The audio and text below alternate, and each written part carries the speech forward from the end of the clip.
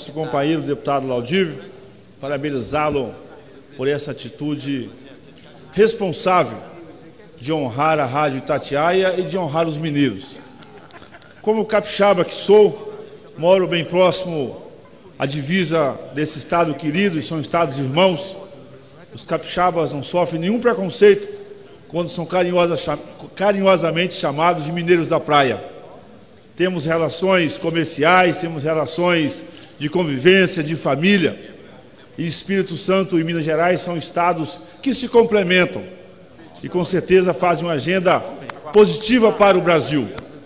Minas, que é um estado consumidor de muitos produtos capixabas, temos muitas empresas capixabas, principalmente na área de mineração, que tem em Minas Gerais a sua fonte de matéria-prima. Minas Gerais, que tem, o Espírito Santo que tem nos seus portos uma importante base para escoamento dos produtos que tem nas terras mineiras a sua extração. Preciso, em nome do Partido Verde, agradecer à Rádio Itatiaia pelo que faz pelo Minas Gerais e pelo que faz pelo Brasil. E aqui, puxando fardinha, é, puxando sardinha, vamos dizer assim, para o nosso prato, agradecer pelo que faz pela agricultura.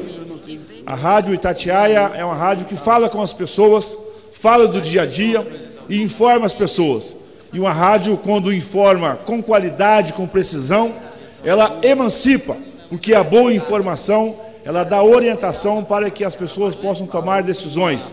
Decisões no trânsito, decisões na educação, decisões na segurança, mas principalmente na nossa agricultura, a rádio que fala com os rincões de Minas Gerais e ecoa nas montanhas do Espírito Santo, essa informação tem ajudado os produtores de café, os produtores de leite, produtores da nossa da nossa agricultura no todo a tomarem decisões importantes de compras e de vendas e de informações de clima, de temperatura, de chuva.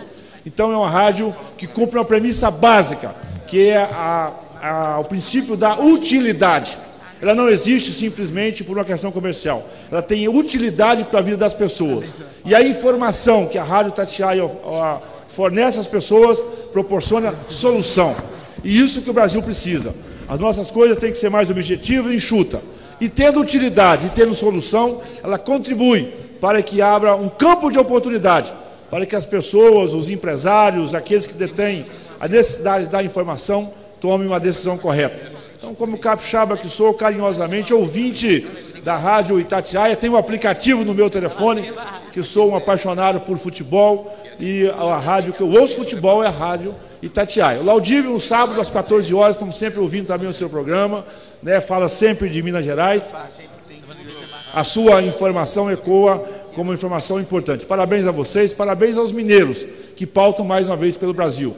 Eu sempre digo que a boa construção da história do Brasil passa por Minas Gerais. E a Rádio Itatiaia, ao longo da sua história, tem dado a contribuição positiva para honrar os mineiros e colocar o Brasil no rumo certo. Parabéns em nome do Partido Verde.